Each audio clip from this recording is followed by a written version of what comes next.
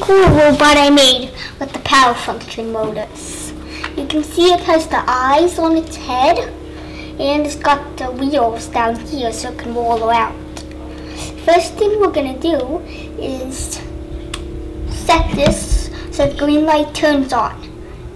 And then we're gonna turn on the switch. This switch controls the direction of this robot. So the first thing we'll do is we'll flip. You see the wheel starts moving and the eyes turn on.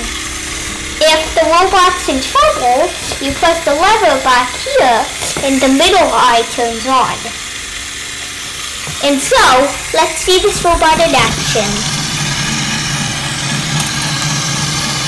It's called Security Bot, and it looks around.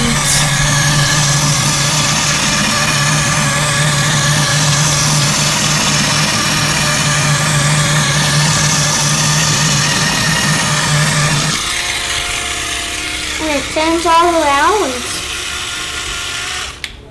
And so that's it.